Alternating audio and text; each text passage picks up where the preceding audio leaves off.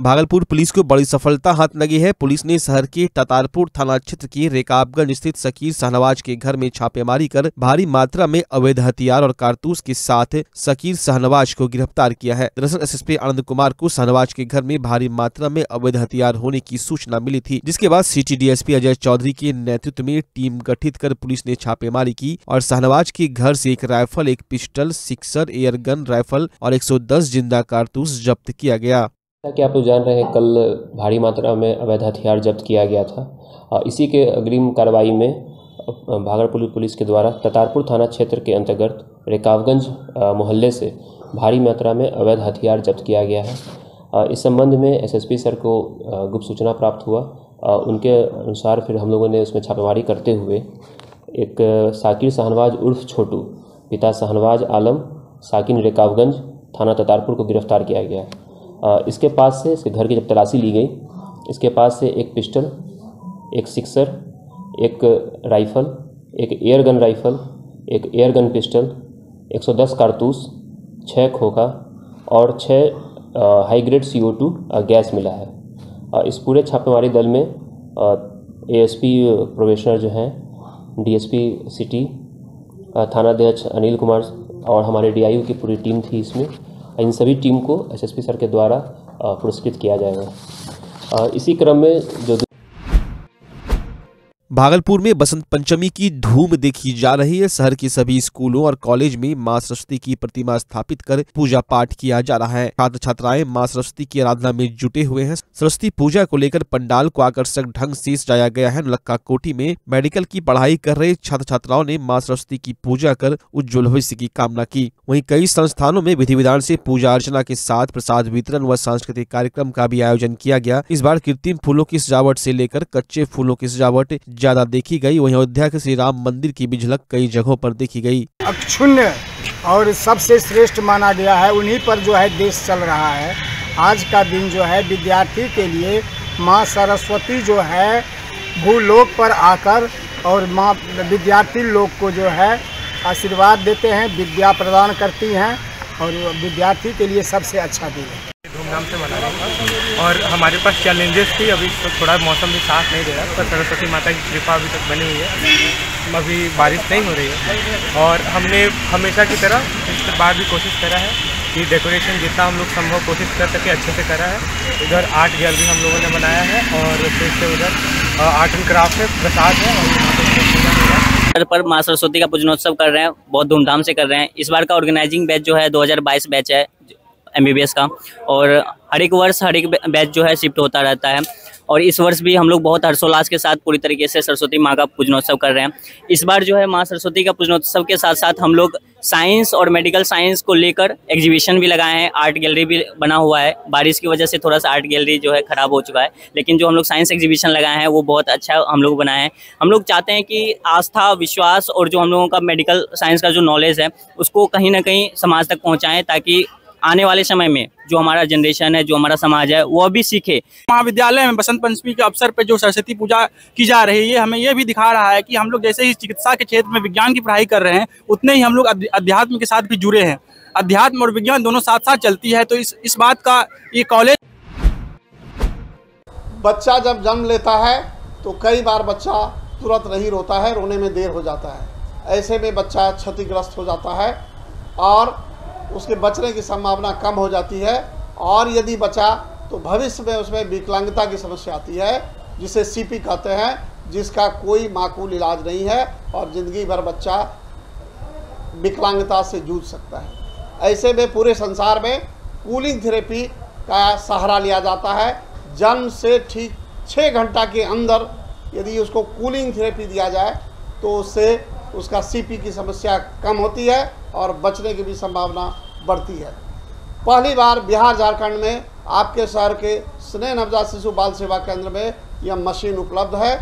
कभी भी ऐसी बात हो कि बच्चा रोने में विलम्ब हो गया तो आप स्नेह नवजात शिशु बाल सेवा केंद्र में ज़रूर संपर्क करें।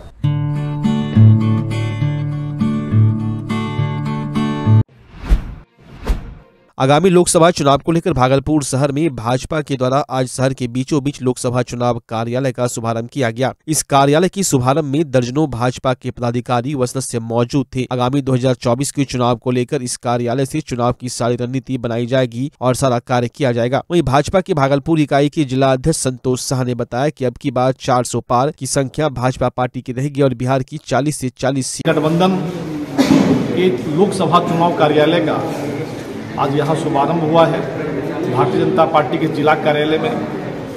और इस अवसर पर आज लोजपा के नेत्री संगीता तिवारी जी, जदयू के हमारे नेता सिद्धू साई जी, हमारे प्रदेश मंत्री श्री अनिल ठाकुर जी, लोजपा के सुमन सुमन जी सहित हमारे रोहित पांडे जी और सभी लोग उपस्थित हैं और सभी कार्यकर्ता बड़े उत्साह के साथ। आज इस चुनाव कार्यालय का उद्घाटन के अवसर पर हम लोग इकट्ठे हुए हैं और हम सबों ने जो संकल्प लिया है, उस काम को इस कार्यालय स्थान से करने के लिए। तो सभी का एक परिचय भी हो रहा है और हम सभी लोग मिलकर जो संकल्प लिए हैं अब की बार 400 पार, और बिहार की 40 की 40 सीटें जीतने का, उस संकल्प को हम लोग दोहरा रहे हैं और आज के इस पवित्र अवसर पर और बसंत पंचमी का जो पवित्र अवसर है, जिस दिन इस काम की शुरुआत की जाती है, उसकी सफलता निश्चित रूप से मिलती है।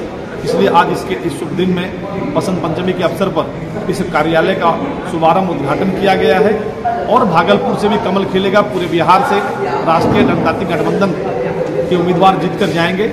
और इसीलिए इस कार्यालय से आज से प्रारंभ हो गया है और यहाँ से गतिविधियाँ शुरू होंगी। चुनाव के सारे कार्य अभी तत्काल यहीं से होने हैं और आज बड़े उत्साह के साथ बड़े ही उमंग के साथ लोगों ने अपने इस कार्यालय का भागलपुर के गोराडीह और उसके आसपास के रहने वाले लोगों के लिए बड़ी खुशखबरी है। अब गोराडीह में mobile phone, LED TV, washing machine, fridge जैसी इलेक्ट्रॉनिक आइटम लेने के लिए उन्हें दूर जाने की ज़रूरत नहीं पड़ेगी, क्योंकि अब गोराडीह में बिरनौल चौक पेट्रोल पंप के पास विनय मार्केट में राजनंदनी इंटरप्राइजेज के भव्य शोरूम का उद्घाटन बसंत पंचमी, सरस्वती पूजा के शुभ अवसर आरोप हो गया है। इस शोरूम में आपको सभी प्रकार की जरूरतों के इलेक्ट्रॉनिक आइटम का, हर ब्रांड का mobile, TV, fridge washing machine, geyser, पंखा, इन्वर्टर, बैटरी सहित तमाम चीज़ उपलब्ध है। शोरूम का गोराडी के वीडियो प्रभात केसरी। गोराडी पुलिस निरीक्षक शांता सुमन, पुलिस निरीक्षक संजय सारथी की तरह संयुक्त रूप से फीता काटकर भव्य उद्घाटन किया गया। उद्घाटन के बाद से ही शोरूम में इलेक्ट्रॉनिक आइटम की बिक्री प्रारंभ हो गई। वहीं पहुँचे ग्राहक गोराडी में इस तरह के शोरूम को देखकर काफ़ी गदगद हुए। साथ ही वहाँ मिल रहे सामानों की कीमत को जानकर भी लोग काफ़ी खुश हुए। ऑनर पिंटू कुमार ने बताया की गोराडी में इस तरह के इलेक्ट्रॉनिक आइटम शोरूम की बहुत ज़रूरत थी। लोगों को ऐसे सामान खरीदने के लिए शहर जाना पड़ता था, लेकिन उन्होंने स्थानीय लोगों की परेशानियों को समझते हुए अब गोराडी में ही भव्य शोरूम शुरू कर दिया है। यहाँ लोगों को काफ़ी आकर्षक कीमतों पर तमाम तरह के इलेक्ट्रॉनिक आइटम उपलब्ध हो जाएँगे। साथ उन्होंने कहा कि अभी उद्घाटन के मौके पर विभिन्न आइटमों पर पाँच प्रतिशत से लेके तीस प्रतिशत तक की छूट भी मिलेगी। उन्होंने कहा कि शोरूम में हर तरह की ईएमआई स्कीम भी उपलब्ध है, जिनका बजट कम है, लेकिन वो तत्काल सामान लेना चाहते हैं तो वो विभिन्न कंपनियों से ई के माध्यम से ज़ीरो परसेंट इंटरेस्ट रेट पर भी सामान ले सकते हैं और आसान किस्तों पर उसकी कीमत का भुगतान कर सकते हैं। इंटरप्राइज का दूसरा शोरूम ओपनिंग है और ये इस इलाके का सबसे भव्य शोरूम है, जो कि ये हम लोग अगर गोराडी सरमसपुर से चलते हैं तो सरमसपुर से पूरा सनहौला तक में ये चीज़ नहीं है। और ये पहला दुकान ऐसा है जहाँ की सारा चीज़ अवेलेबल है चाहे वह टीवी हो फ्रिज हो एसी हो कूलर हो, पंखा हो, किसी भी ब्रांड का, या मोबाइल हो। मोबाइल में भी हम लोग सारा कंपनी लेके आए हैं Samsung Oppo Vivo Realme Redmi सारे कंपनी को लेके और सबसे सस्ता और सब ई पर। हमारे पास तीन चार फाइनेंस है जो कि हम अभी टाइप और तीन चार फाइनेंस और टाइप होने वाला है, जो कि हम लोग कम कम से कम ई कॉस्ट में देने की कोशिश कर रहे हैं और कस्टमर को ये भी सुविधा होगी कि हमारे पास सारा रेंज है, जो कि उनको भागलपुर अब जाने की ज़रूरत नहीं है। इस देहात में हम सारे सुविधा के साथ अवेलेबल हैं, जो कि हम लोग चाह रहे हैं कि ज़्यादा से ज़्यादा हम लोग इस क्षेत्र में विकसित करें। लोग जो लोग भागलपुर जाता था वह आज यहाँ आए और शॉपिंग करे। कम से कम एक बार मेरे दुकान को ज़रूर विज़िट करें। क्या सोच के साथ शुरू किए यहाँ पे गोराडी में इस तरह का गोराडी लोग यहाँ से भागलपुर वगैरह जाते थे। लोगों का सोच था कि मेरा ज़्यादा खर्च हो जाता है या भाड़ा वगैरह वगैरह जाता था और इस इस लायक था नहीं। इसीलिए ये पर्पज़ था कि हमारा कि यहाँ सबसे अच्छा क्वालिटी हो और चीप एंड बेस्ट रेट मिले। गोराडी लोगों के लिए हमारा दो दिन का भी ऑफ़र है। चौदह और पंद्रह। दो दिन के लिए ऑफ़र है पाँच परसेंट से तीस परसेंट तक डिस्काउंट अभी चल रहा है।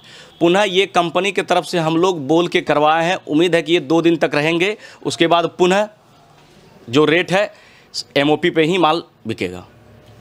फाइनेंस का क्या सुविधा लोगों को? फाइनेंस कैसे मिलेगा? कोई फाइनेंस हमारे पास टी है बजाज है सैमसंग फाइनेंस है चोला मंडल फाइनेंस है। चार फाइनेंस के साथ हम लोग अभी काम कर रहे हैं।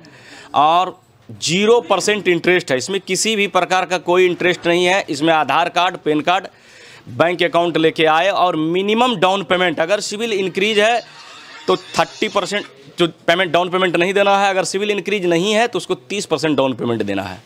किसी पास कार्ड अगर नहीं है तो क्या कार्ड बन भी जाएगा कार्ड यहाँ पर बन भी जाएगा उसके लिए सुविधा हमारे पास टीवीएस और बजाज दोनों का कार्ड बन जाएगा। साथ ही कहा कि शोरूम में हर जगह से काफ़ी कम दाम में सामान मिल जाएगा। वहीं उद्घाटन के मौके पर पहुँचे ग्राहक शोरूम में मिल रहे प्रोडक्ट को देखकर काफ़ी खुश हुए। कई लोगों ने उद्घाटन के अवसर पर खरीदारी भी की खासकर मोबाइल की वैरायटी देखकर सभी कस्टमर खुश हुए। उद्घाटन के मौके पर पहुँचे आगंतुक अतिथियों ने शोरूम के प्रोपराइटर पिंटू कुमार को बधाई दी। राय नंदिनी इंटरप्राइजेस के वो जो प्रोपराइटर हैं काफ़ी युवा हैं, मेहनती हैं और इनका पहले से भी व्यवसाय चल रहा था, जिनको आज गोराडी में बढ़ाए हैं। निश्चित रूप से यह गोराडी के लिए एक सौभाग्य की बात है और मैं सभी से आग्रह करूँगा कि इस दुकान की जो सेवाएँ हैं, अधिकतम लें। धन्यवाद। देखिए, भागलपुर से आप निकलिएगा ना, गोड्डा पहुँचिएगा। राजनंदिनी इंटरप्राइजेज जो है, इससे अच्छा दुकान आपको भागलपुर से गोड्डा तक में नहीं मिलेगा। और विशेष छूट पे भी यहाँ आपको मिलेगा। इसलिए देखिए आप तो देख रहे हैं मोबाइल है बैटरी है मिक्सी है हर तरह का जो है यहाँ मिलता है सामान। पहले पहले भागलपुर से और ये सेवा सब दिन दे रहे हैं। अभी ये नया बड़ा शोरूम का उद्घाटन हुआ गोराडी में कितना ज़रूरत है इस तरह शोरूम देखिए ये ग्रामीण क्षेत्र है अभी। ग्रामीण क्षेत्र में ऐसा जो है ये मेला भी लगाते हैं बार बार विशेष छूट पे।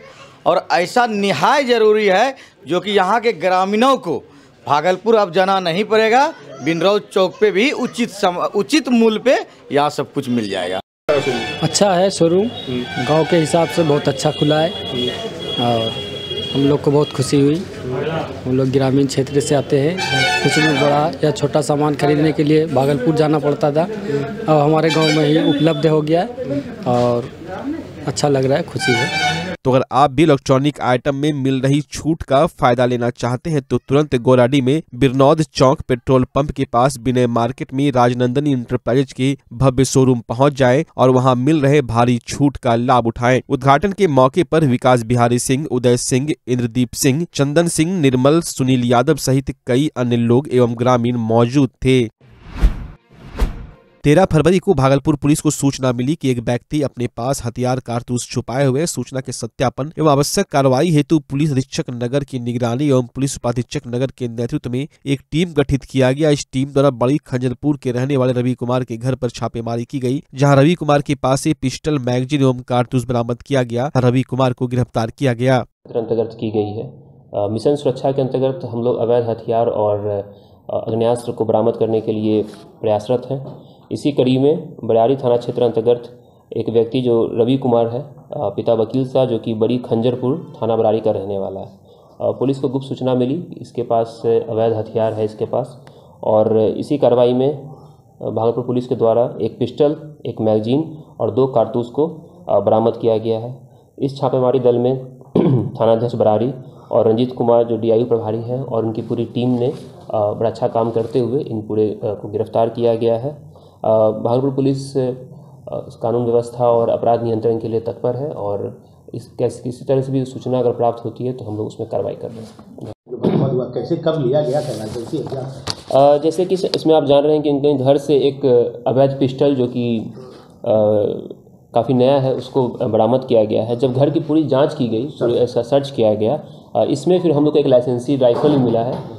इसके साथ साथ एक विदाउट लाइसेंस एयरगन मिला है। अ, जो सिक्सर है इन्होंने जो खरीदा है वो भी विदाउट लाइसेंस है।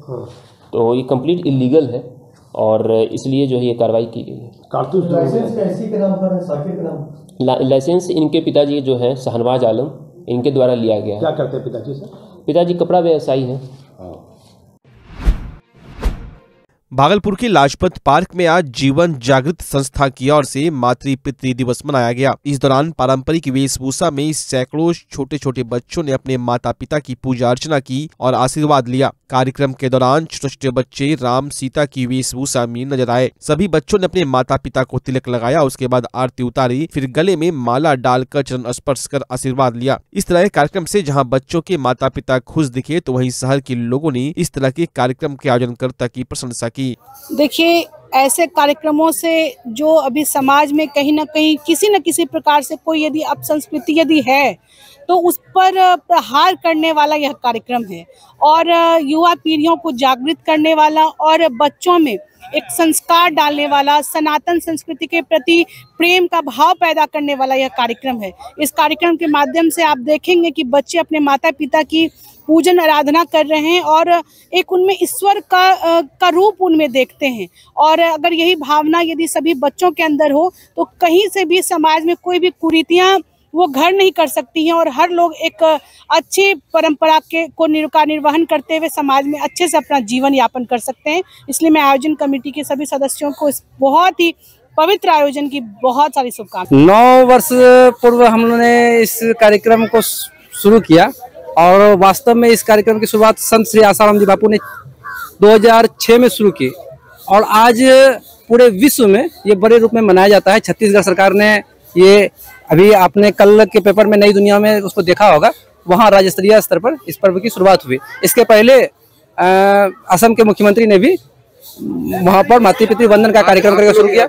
और यहाँ पर बच्चों, बच्चे लोग अपने माता पिता का पूजन करते हैं। चौदह फरवरी को जिस रूप में लोग जानते थे, उस लकीर को अगर छोटा करना है तो उसके आगे एक बड़ी लकीर खींचनी पड़ती है। तो पाश्चात्य संस्कृति की जो हवा हमारे देश को प्रभावित कर रही थी आज हमारी संस्कृति की सुबास उन लोगों का भी मंगल कर रही है। इस उद्देश्य से यह कार्यक्रम चलाया जा रहा था और हम लोग भी भागलपुर में बड़े स्तर पर इस कार्यक्रम को करते हैं। और बरसात के कारण हम बहुत सारी अव्यवस्थाएँ हुई, लेकिन फिर भी लोग यहाँ पर पहुँचे हैं। मुझे बहुत खुशी है। इस प्रकार का कार्यक्रम पूरे देश में मनाया जा रहा है भागलपुर में भी ये अच्छे खासे ढंग से लोग इसको ये कर रहे हैं।